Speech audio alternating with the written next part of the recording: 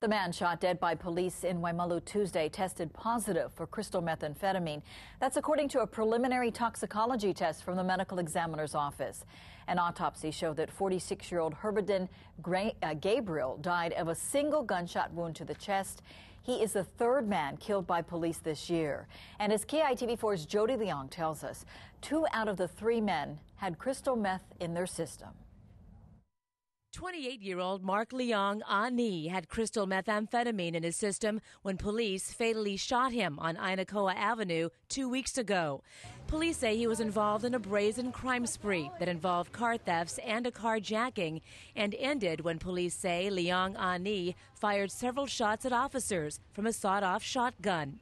On Tuesday, a police officer shot and killed 46 year old Herbden Gabriel after they say he robbed a woman who had just given him a massage in Waimalu.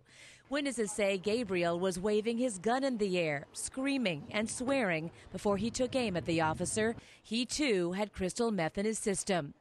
And remember 36 year old Reno Valesis? He was the man who was wildly swinging a machete at people in Waianae last June. Police shot and killed him after he refused to put the machete down.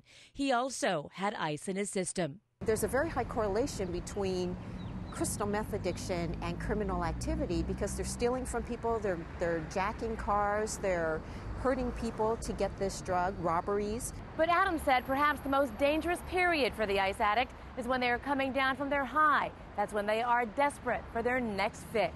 There's this period of time where they become very agitated and they tend to be more violent. They are very driven at that time and very desperate to try and find more crystal meth. And Adam says the craving for meth is like no other. I think it's a desperation unlike other drugs because the craving and the need for the drug is so strong. And that is contributing to the alarming increase in violence on our streets. They feel like a super person. Um, it often takes, you know, more than one police officer to kind of restrain them and to hold them down. They're fearless. They feel invincible. Jody Leong, KITV4 News. A total of four men have been killed by police since last June. Three of them tested positive for crystal methamphetamine.